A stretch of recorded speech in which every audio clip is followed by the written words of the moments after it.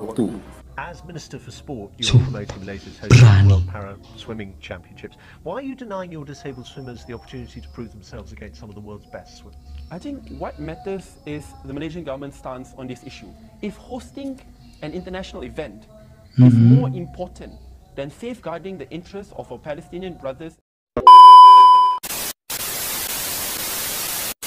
Halo teman-teman semuanya, Assalamualaikum warahmatullahi wabarakatuh. Berjumpa lagi dengan saya, Merbat Divi. Apa kabar hari ini? Mudah-mudahan kabar rekan-rekan semuanya disehatkan oleh Allah Dilancarkan rezekinya dan mudah-mudahan senantiasa Selalu Allah permudah segala urusannya. Amin, amin, ya rabbal alamin. Oke, seperti biasa sebelum nonton video reaction hari ini Mari kita sama-sama istiqomah selalu berselawat kepada baginda Nabi besar Muhammad Sallallahu Alaihi Wasallam. Allahumma Muhammad wa ala ali Muhammad. Mudah-mudahan beliau kelak memberikan pertolongannya kepada kita memberikan syafaatnya juga kepada kita. Amin amin ya rabbal alamin. Dan mudah-mudahan Allah senantiasa menyelamatkan kita semuanya baik di dunia ini dan di akhirat nanti. Oke seperti biasa mari kita sama-sama reaction salah satu video yang berjudul tentang beraninya Malaysia permalukan Israel. Wow.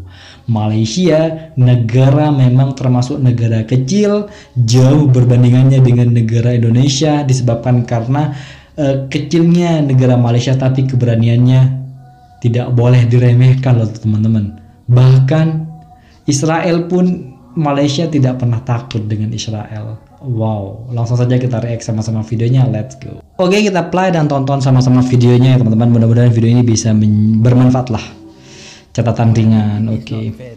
Me uh, anti anti-Semitic.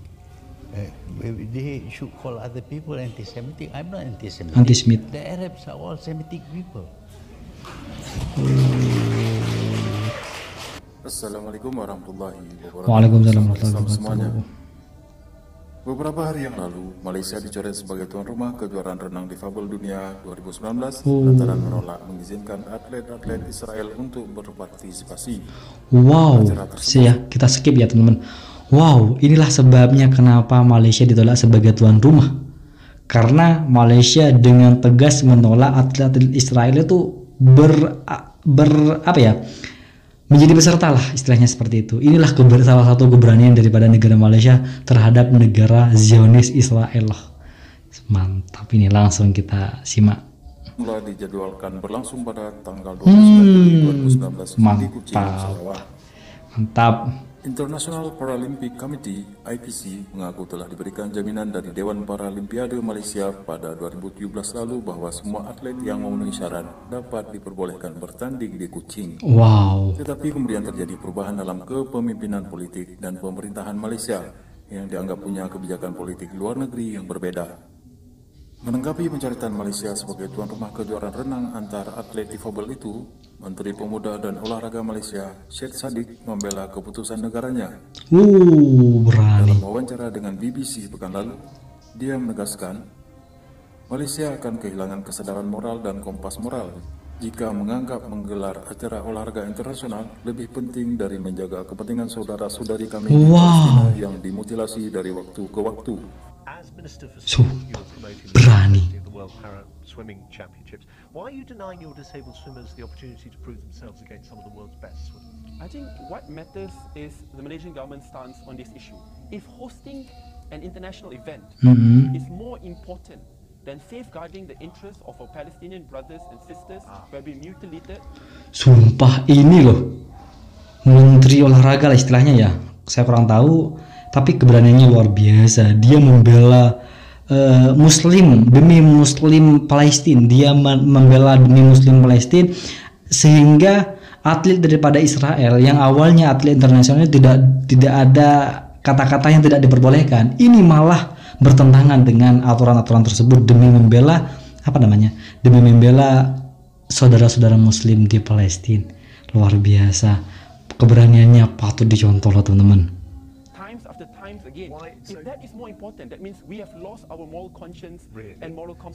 Wow. Berpartisipasi, Bu.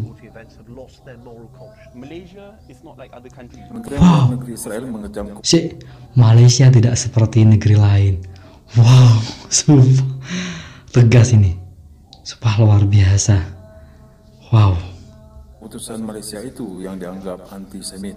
hmm Tudingan yang sama juga pernah diarahkan ke Perdana Menteri Malaysia, Mahathir Mohamad, pada Oktober 2018 yang lalu. Hmm. In Malaysia, we uh, we have had no diplomatic relation with Sama Israel at all, and we don't think that uh, what uh, that they should come. Wow, dan kami tidak berpikir mereka, wah, We sumpah. have no relations with them, and we feel that they were doing a lot of wrong things, but getting away with it because Hmm. dares to say anything against them.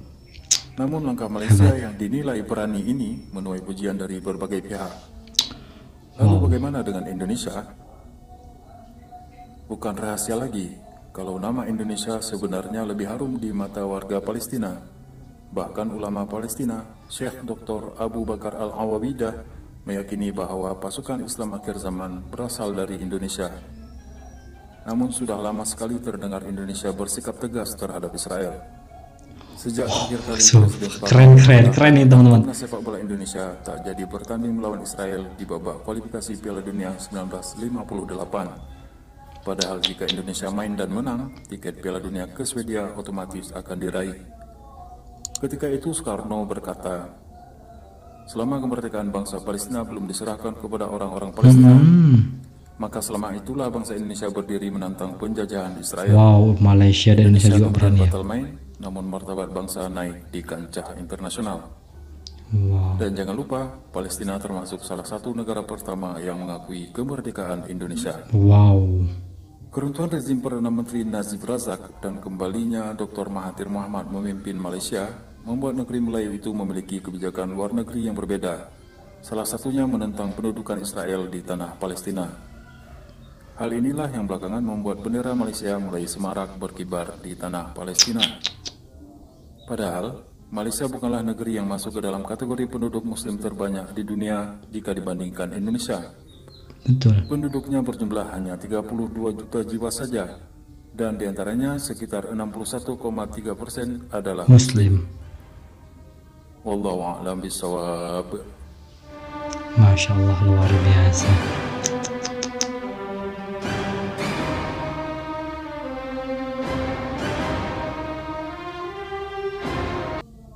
Oke teman-teman semuanya itulah video resan hari ini Wow luar biasa keberanian Malaysia ini patut kita contoh patut kita kagumi loh teman-teman Demi membela saudara-saudari kita saudari muslim di Palestina atlet Pal- atlet Israel tidak diizinkan ikut lomba renang pada tahun 2019 di Malaysia. Inilah hal keberanian yang luar biasa.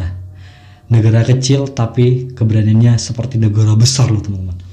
Hmm, saya pun juga benci terhadap negara Israel yang senantiasa selalu setiap hari eh, menindas orang-orang muslim saudara kita semuanya seiman semuslim di Palestina anak kecil pun ditindas wajarlah saja Malaysia benci bukan benci menolak dengan adanya negara adanya rakyat Israel yang menjadi atlet yang dikirimkan negaranya ke Malaysia pada saat itu.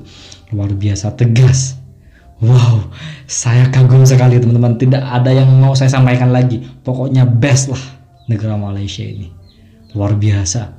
Oke teman-teman itulah video hari ini. Silahkan buat rekan-rekan yang memiliki tanggapan atau saran silahkan tag aja di kolom komentar bagaimana video barusan yang sama-sama kita reaction.